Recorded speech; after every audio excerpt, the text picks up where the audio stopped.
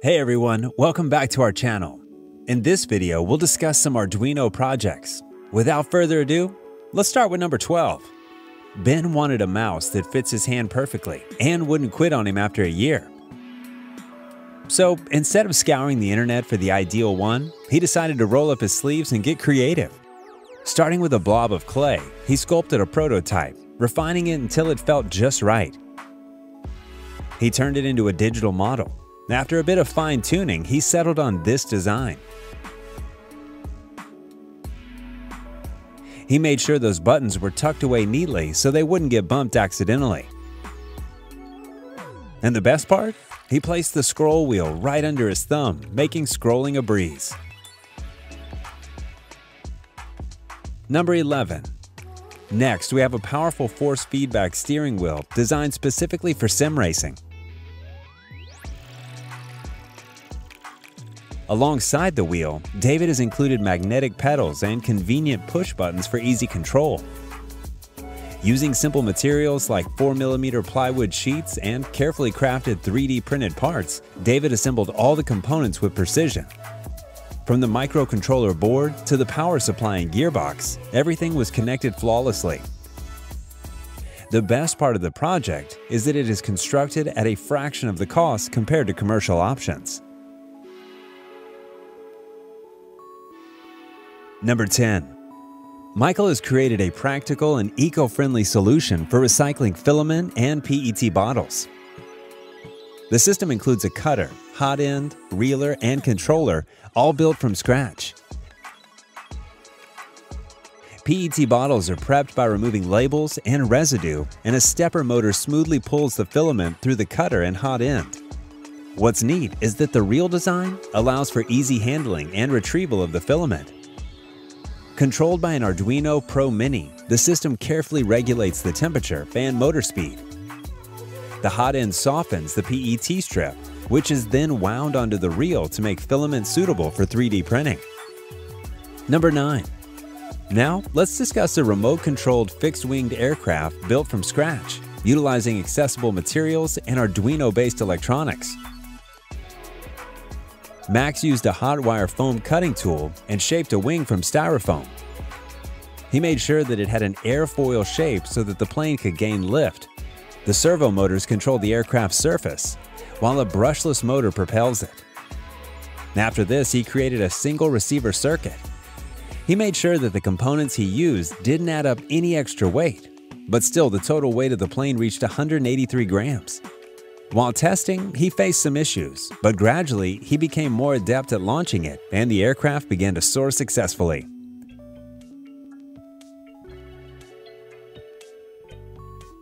Number 8. Next on the list, we have a robotic car that can be controlled using hand gestures. Yes, you heard it right. No buttons, no remote controls, just simple hand movements to direct the robot's actions. The complete robot is 3D printed and consists of three controlling modes. In its default mode, the robot responds to hand gestures for forward, backward, left, and right movement. Pressing the push button activates drift mode, allowing sideways movement control.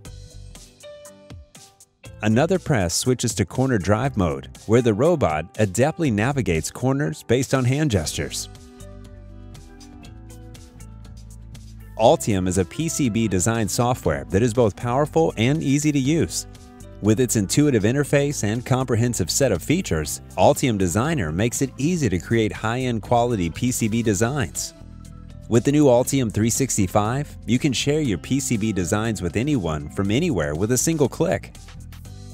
The Octopart gives you real-time component insights as you design your PCB in Altium. Check the description for more details.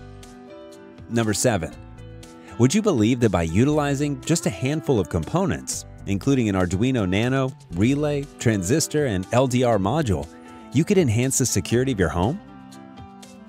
If not, this project will certainly change your perspective, as this door can only be unlocked using a flashlight from your smartphone.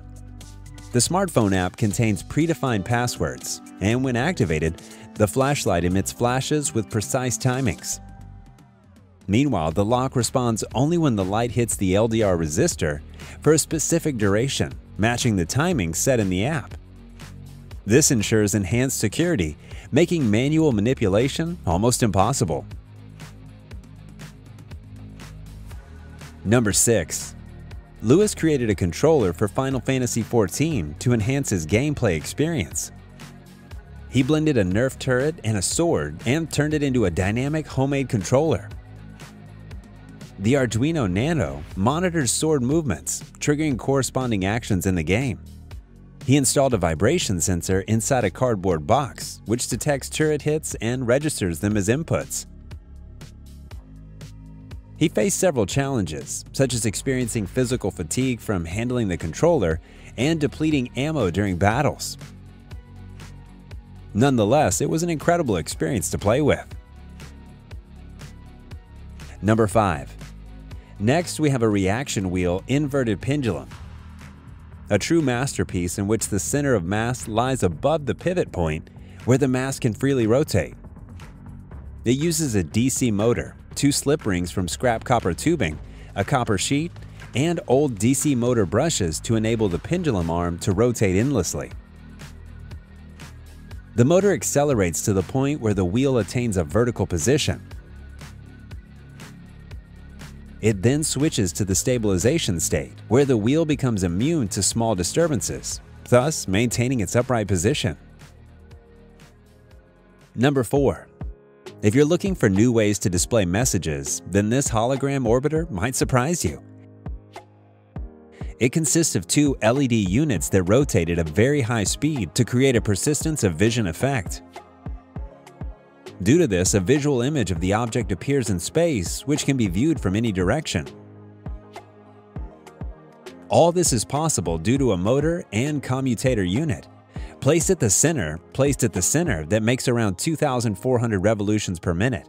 With this, you can display pixel animations, pictures, text, numbers, and much more. Number 3. Next, we have a SCARA robot, which is designed to handle 200 grams of load. The electronics include an Arduino with a CNC shield, four-stepper motor drivers, and a 5-volt regulator for the servo. This robot uses open-loop control. Just like a 3D printer, the robot can keep track of how far each motor is moved, but it doesn't know where it starts from. So here, limit switches and a home sequencing are used to find this starting position. It could be challenging to make this project on your own if you're a beginner. Still, you can learn many things by following the build. Number 2. Instead of letting someone else take a picture of your group, you can include this DIY photo booth in your next party.